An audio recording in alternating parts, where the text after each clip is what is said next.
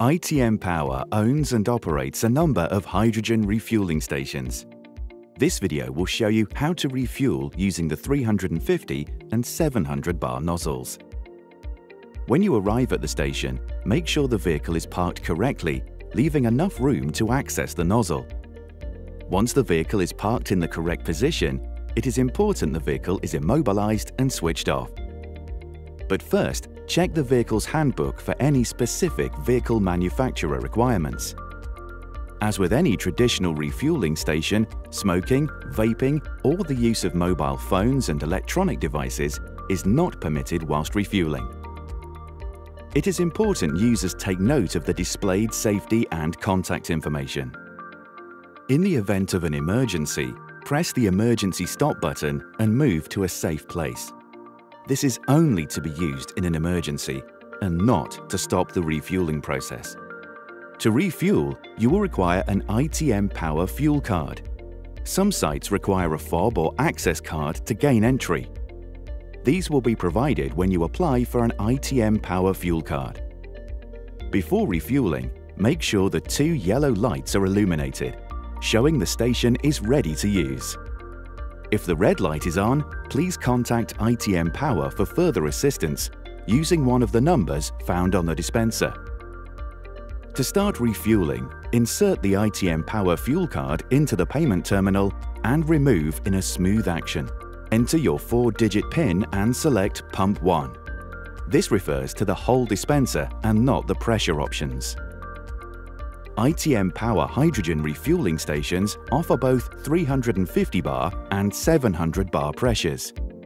Please ensure you use the correct pressure as indicated by the vehicle manufacturer and our fuel card approval process.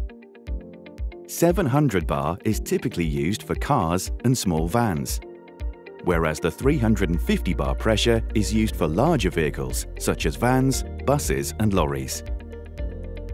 Once you have chosen the correct pressure, inspect the nozzle and receptacle for any damage or debris. Attach the nozzle to the vehicle's receptacle. Press the trigger to secure the nozzle. You should then hear a click.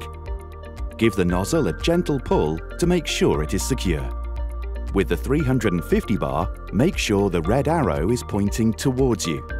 Attach the nozzle to the vehicle's receptacle you will hear a click when the nozzle is in the correct position. Secure the nozzle in place by turning the lever 180 degrees clockwise. You should be able to see a red band around the collar of the nozzle showing it is locked in place. Once the nozzle is secured, a green light will be illuminated showing the car is ready to be refueled. Press the green button to start refueling. The green light will begin to flash once the refueling process has started. Allow a few moments for the vehicle to perform safety checks. The red button can be used to stop refueling at any time. When the green light stops flashing, this indicates the refueling process has stopped. To remove the 700 bar nozzle, press the clip and gently detach the nozzle towards you and not at an angle. With the 350 bar nozzle, twist the lever 180 degrees anti-clockwise to release the nozzle. Make sure the nozzle is correctly returned to the holster and the yellow light on the dispenser is illuminated. To complete the transaction, enter your ITM Power fuel card into the payment terminal and follow the on-screen instructions. This completes the refueling process.